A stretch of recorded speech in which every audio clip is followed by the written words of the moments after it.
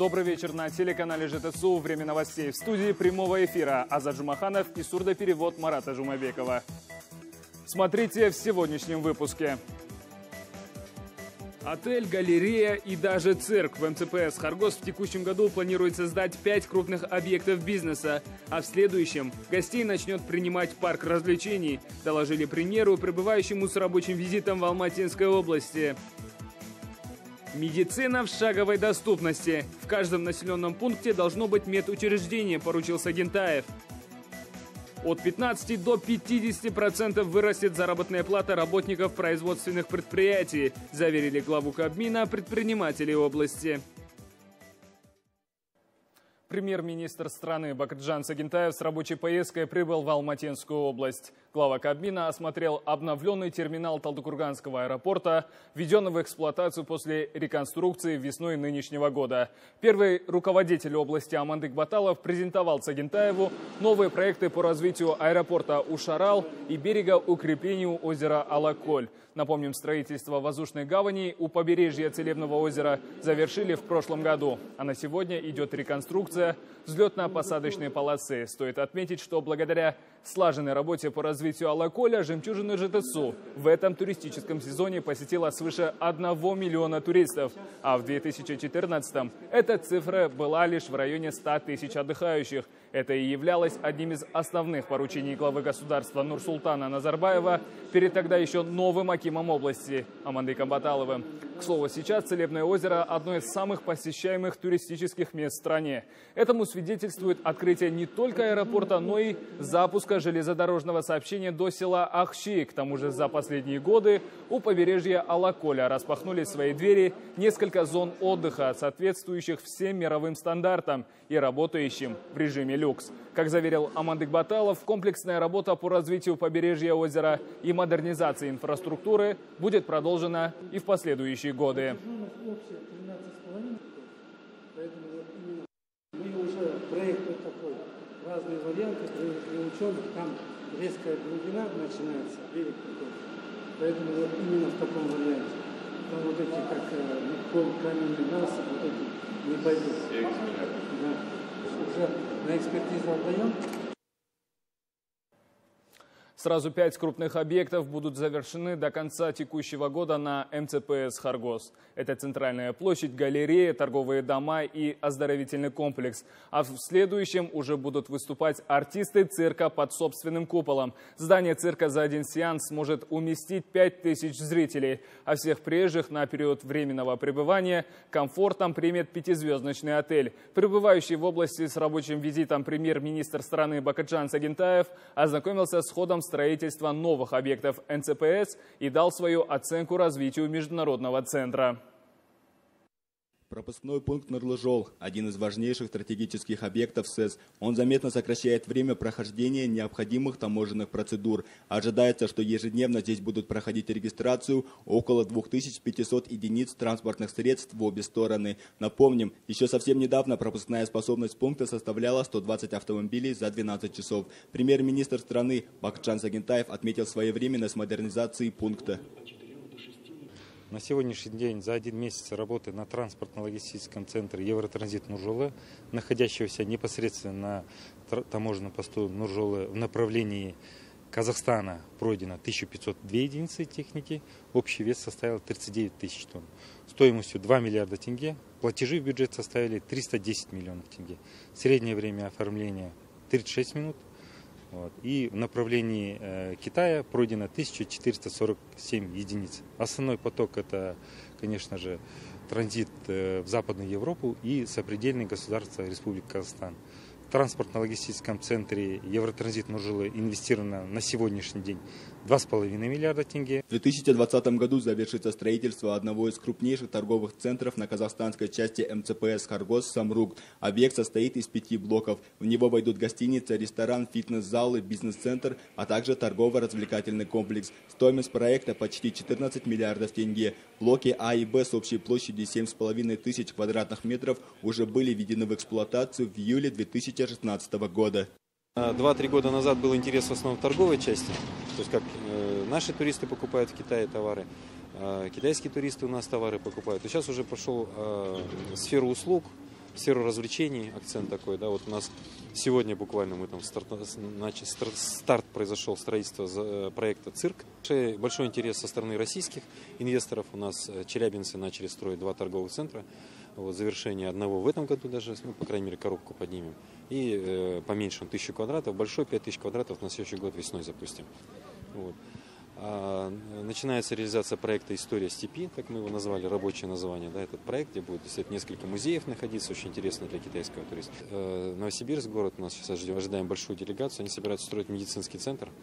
Вот, очень интересный медицинский центр, где имплантация а, ну, имплантированию, то есть это части там, скелета, черепа, там, позвоночника и так далее. Очень интересный проект.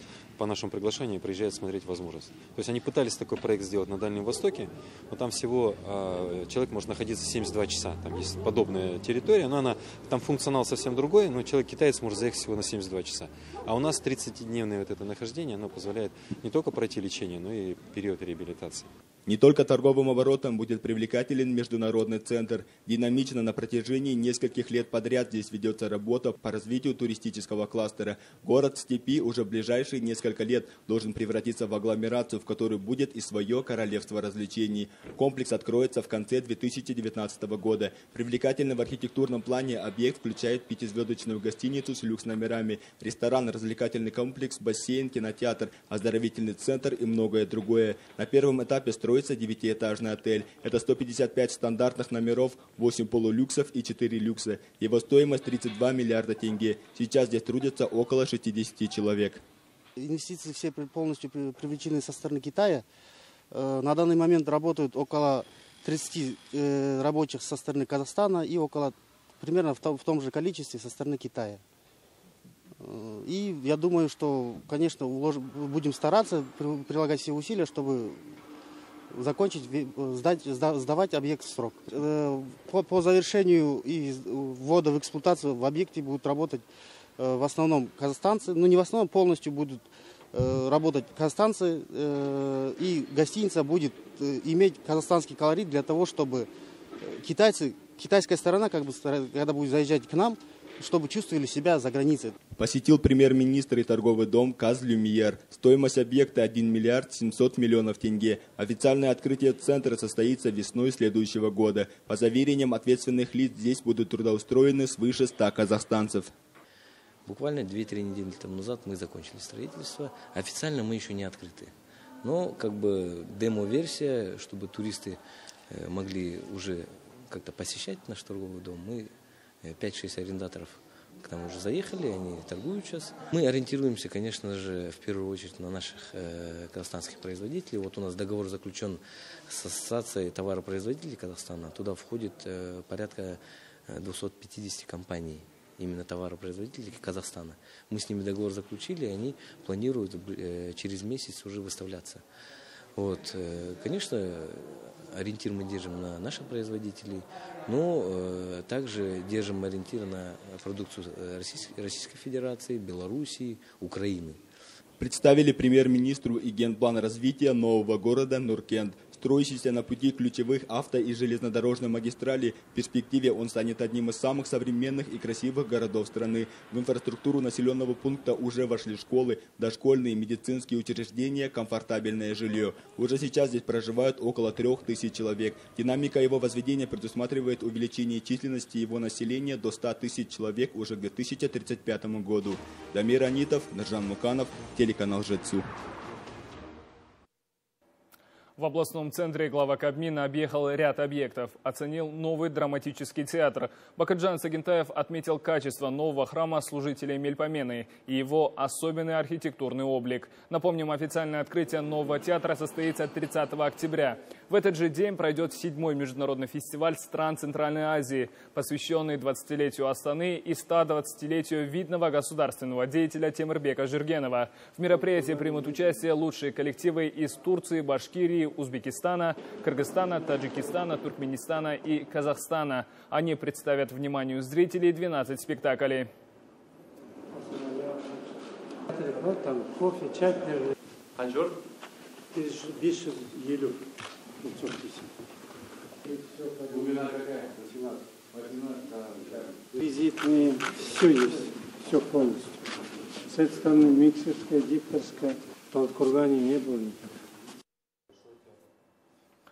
Доступная медицина, качественное оказание услуг и суперсовременное оборудование. Всем этим критериям должна соответствовать сфера здравоохранения каждого региона. Такую задачу перед людьми в белых халатах поставил президент Нурсултан Назарбаев в своем недавнем послании. О важности его исполнения еще раз напомнил премьер-министр страны. На встрече с медицинской общественностью Алматинской области Бакджан Сагентаев озвучил способы и методы реализации поручения Ельбаца каждом населенном пункте Казахстана должно быть медицинское учреждение. Доступность – вот что самое главное, особенно в сфере здравоохранения, отметил Бахаджан Сагентаев. Так, на сегодняшний день в Алматинской области функционирует более 800 учреждений. В текущем году за счет местного бюджета построено 18 объектов здравоохранения, по пяти проведен капитальный ремонт. Показатели, которые демонстрируют область, довольно-таки хороши. Однако на этом не нужно останавливаться. Уделяйте большое внимание первичной медико-санитарной помощи. Я вижу, что областной центр растет и развивается, поэтому в новом микрорайоне необходимо возвести больницу или поликлинику. Если не удастся построить новое здание, можно оборудовать медицинское учреждение на первом этаже дома. Самое главное, чтобы люди не ездили за помощью куда-то далеко. Все должно быть рядом. С целью снижения дефицита кадров за последние три года в Алматинскую область привлечено более 470 врачей. Около 150 из них предоставлены квартиры, остальным выданы подъемные пособия и льготные кредиты на покупку жилья. Всего на данный момент в регионе трудится порядка 20 тысяч медработников. На сегодняшний день э, у нас есть возможность повышать свои знания э, не только в нашей стране, но и за рубежом. Вот даже наши специалисты, э, наши многопрофильные больницы в этом году обучились в ведущих клиниках Южной Кореи, Германии, Израиля и в России. С каждым годом укрепляется материально-техническая база инфраструктура здравоохранения. Вот в этом году из средств местного бюджета нам самую последнюю модель э, ударно-волновой литотриптор приобрели для нашей больницы. И мы сейчас в клинике дистанционно проводим дробление камней в почках и мочеточнике. И теперь наши жители Талдыкургана получает здесь эту высокоспециализированную медицинскую помощь. Улучшение качества оказания медицинских услуг возможно только за счет цифровизации, считают собравшиеся. В целях устранения очередей и бюрократии до конца текущего года планируется внедрение информационной системы ЖЭТСУ. Она позволит сформировать электронные паспорта для жителей региона, а также обеспечит переход на безбумажный документооборот. Что касается действующих проектов, то сейчас в области довольно успешно реализуется программа Комек-103. Благодаря ее внедрению прибытие карет скорой помощи стало оперативнее. Сейчас она в Алматинской области на 35% мы внедрили, все районы подключаем и должны были закончить ее 2019 года, но совместно обсудить с областным управлением здравоохранения, с Акиматом, дополнительно выделены 200 миллионов тенге. И я думаю, что мы к концу этого года завершим полностью внедрение этой системы. Из послания главы государства больше всего медиков обрадовало поэтапное повышение заработной платы на 20%. Как говорят они, это станет хорошим стимулом для качественного исполнения обязанностей. Всего по Алматинской области заработная плата повысится у более чем трех с половиной тысяч человек. Мы будем прилагать все усилия в реализации послания, озвученного главой государства. Думаю, все те критерии, которые озвучил Ельбасы, позволят в сфере здравоохранения страны выйти на новый уровень. Я хочу сказать большое спасибо вам и нашему президенту за систематическую поддержку Алматинской области. Впереди нас ждет большой объем работы. Я думаю, мы справимся с ним. Надеюсь, все озвученное сегодня стопроцентно реализуется в жизнь. Подводя итоги встречи, Бахаджан Сагентаев отметил, что в целях повышения качества медицины необходимо также развивать государственно-частное партнерство. Привлечение бизнесменов в сферу здравоохранения даст новый импульс развитию качественной медицины. Ануар Амангельдинов, Габит Кабдрахман, Абзал Нусипов, телеканал «Жетсу». Бизнесмены Алматинской области начали поднимать заработные платы своим сотрудникам от 15 до 50 процентов. Так руководители предприятий выражают поддержку посланию Ельбаса – рост благосостояния казахстанцев. Об этом сообщили во время круглого стола с участием премьер-министра страны Бакаджана Сагентаева. Впрочем, тем для разговоров было немало. Касались они не только бизнеса, но и других сфер деятельности. Подробнее в следующем сюжете. Задача открытия 100 малых предприятий в Алматинской области на финишной прямой. Сегодня в регионе свои двери распахнули 76 объектов бизнеса. Непременно это отразилось на местном бюджете и составило половину дохода. О благоприятном инвестиционном климате ЖТСУ свидетельствуют действия транснациональных компаний. Всего их 20, но уже скоро их ряды пополнят Марван Фото и Лукойл. С их проектами премьер-министра страны Бахычана Сагентаева знакомил глава области. Никому не секрет, область сегодня занимает лидирующие позиции по производству сельскохозяйственных культур. Также ТСУ вернул славу свекловодческого региона. Еще три года назад посевная площадь сладкого корнеплода составляла 4000 гектаров. Сегодня эта цифра выросла почти в три раза. А готовая продукция в нынешнем году составит 40 тысяч тонн. Премьер-министр страны отметил заслугу земледельцев региона и поставил новую задачу – применять инновации в агросекторе и увеличить посевные площади. Но если в рамках Казахстана посмотреть, потребность 500 тысяч, производим около 100 тысяч. 400 тысяч импорт зависим. Э, Алматинская область, Жамбылская область. Мы построим, э, сахарный завод у нас будет, мы будем э, свеклу выращивать, опять же рабочие места в сельском хозяйстве, ну и закроем свою внутреннюю потребность, не будем зависеть от импорта. Больших успехов добились и кукурузоводы региона. Сегодня ее площадь составляет 80 тысяч гектаров. Зерновую культуру принимает крахмалопаточный завод в Панфиловском районе. 17 видов готовой продукции отправляется на экспорт в страны Средней Азии, России и Китая. Вот в этом году мы уже планируем 165 тысяч тонн переработки кукурузы. Здесь задействованы три района сегодня Алматинской области. Знаете, это Панфиловский район, Энбекш-Казахский район и Уйгурский район. Министр э, Бахчан Абдримович сегодня поставил задачу именно эффективности использования государственных денег, государственных программ и так далее.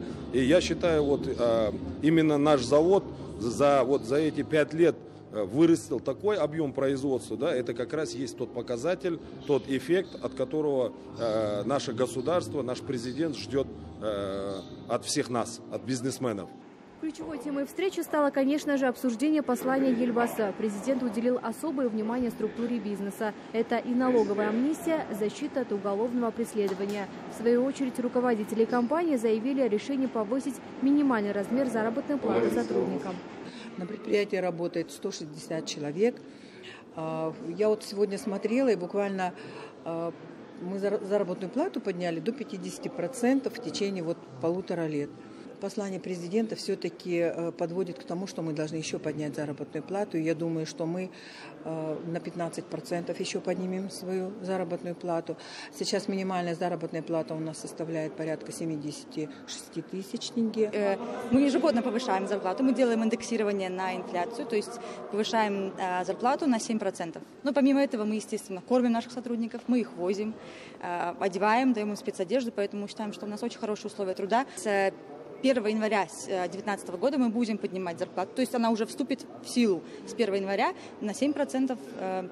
Если у нас ежемесячный фонд труда составляет 100 миллионов тенге, то значит он будет 107 соответственно. Активно проявляют себя и в развитии социальной сферы. С их участием в регионе охват дошкольным образованием достиг 98%. Строятся физкультурно-оздоровительные комплексы в районах и школы. Бахачан Сагентаев отметил работу бизнесменов и все условия, которые создаются для них руководством региона. Этот тандем дает мультипликативный эффект экономическому и социальному развитию региона. Асимка Щегулова и Абзал Нусипов, телеканал ЖТСУ. Премьер-министр страны также посетил первую и единственную в области IT-школу лицея. Образовательное учреждение начало работу в новом учебном году. Получает здесь знания по самым современным стандартам почти 1300 учеников. Помимо школьной программы, дети учатся владеть навыками программирования, 3D-моделирования. Проходят и курсы робототехники. Бакрчан Сагентаев осмотрел новые классы и побеседовал с педагогами. Вопросам образования особое значение. Сегодня каждому казахстанцу необходимо обладать набором качеств достойных технологий 21 века. Это компьютерная грамотность, знание иностранных языков и культурная открытость. Приоритетом сферы образования является целенаправленная работа по цифровизации. В целях ее реализации вот уже два месяца работает новый IT-лицей. Естественно, э, будущее, все связано у нас с этим. Раньше как-то там к этому смотрели, а сегодня жизни нет. Все уже потихоньку привыкают, что там через цифровизацию, все услуги и так далее, и так далее, все. Но для того, чтобы детей подготовить, и школа, школа должна быть подготовлена, и соответствующие а, программы. Поднимались и обсуждались в ходе встречи самые разные вопросы. Доступное образование, жилье для студентов, дальнейшее их трудоустройство, проблема суицида среди детей и повышение статуса педагогов. Собравшиеся уверены, нынешнее послание народу Казахстана поможет положительно решить все эти проблемы. В нынешнем послании президента мне очень понравилось, что 2019 год объявлен годом молодежи.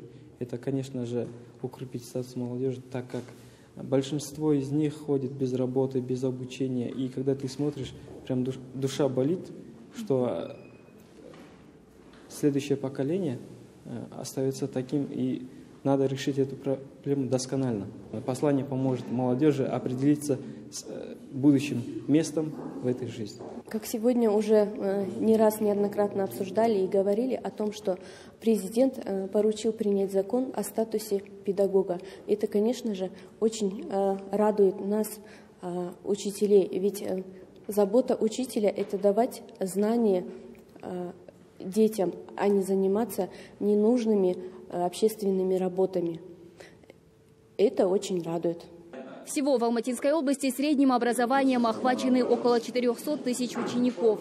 Из 760 школ в 34 еще остается трехсменное обучение. Устранить проблему управления образования планирует к 2021 году. Что касается охвата детей дошкольным образованием, то в области он максимальный – 98%. Пана Усимбекова, Габит Кабдрахман, телеканал ШТСУ Талдыкурган.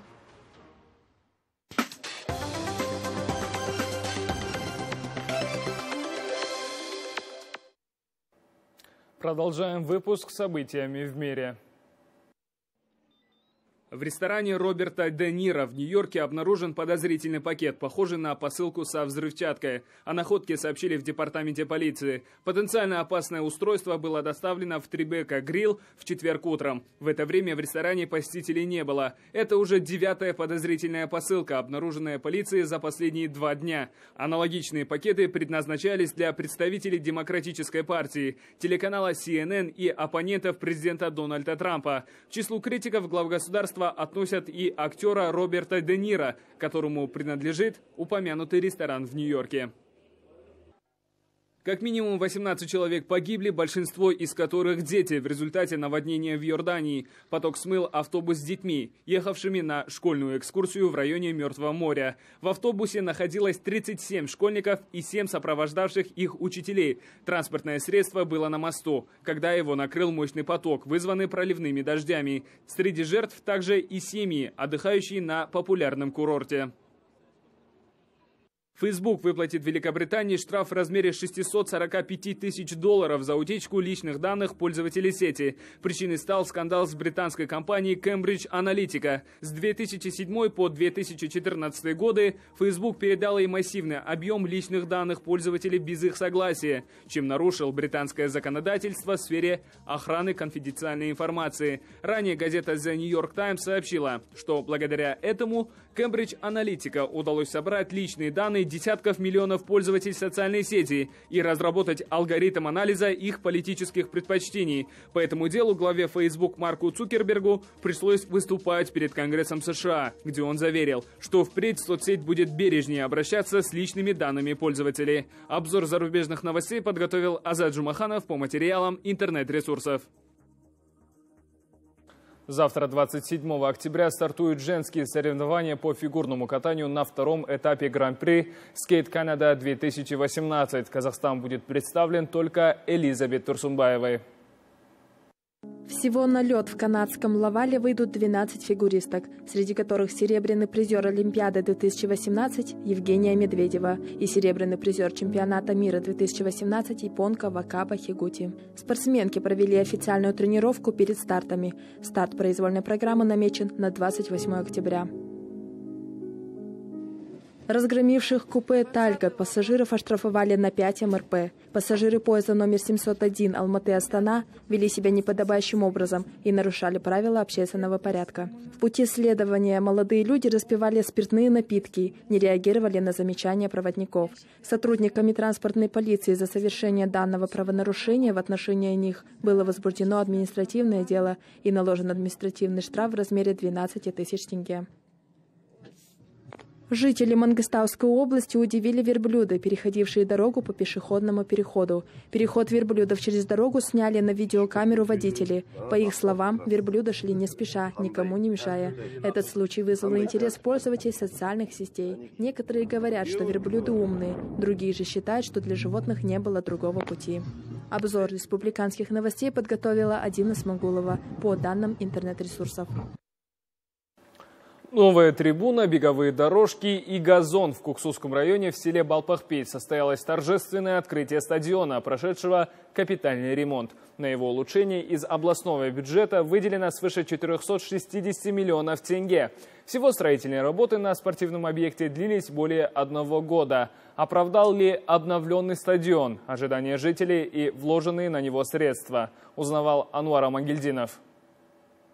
Свое начало это спортивное поле берет с 1978 года. Инициатором его создания выступил первый секретарь района Толиген Ахшанов. После развала Советского Союза объект остался бесхозным, и на нем пасся скот. Лишь в далеком 1993 по предложению большинства жителей Коксусского района стадион обрел второе дыхание и стал охраняемой территорией. Спустя пять лет ему присвоили имя видного государственного деятеля ЖТСУ Батыржана Унгарова.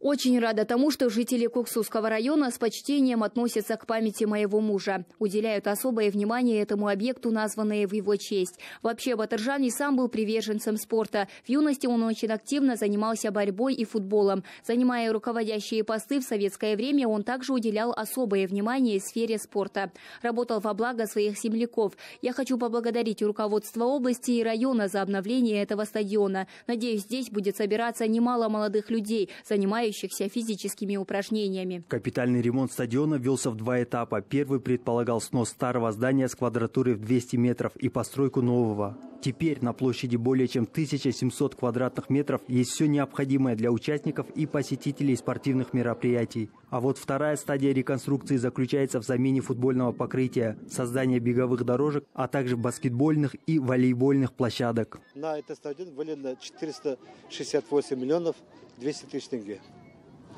которые были полностью освоены. В будущем у нас будет строиться еще э, на этой площадке физкультурно-оздоровительный комплекс.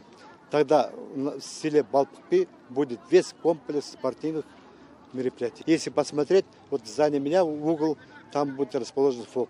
Сейчас проект изготовленный, который прошел э, государственную экспертизу. В следующем году запланировано строительство физкультурного комплекса или В целом в районе имеется свыше 100 спортивных объектов. В них функционирует порядка 70 секций. Население активно и регулярно занимающегося спортом уже около 30%. Ануар Амангельдинов, Габит Кабдрахман, телеканал «Житсу». Это последняя информация к этому часу. Спасибо за внимание. Хороших вам выходных.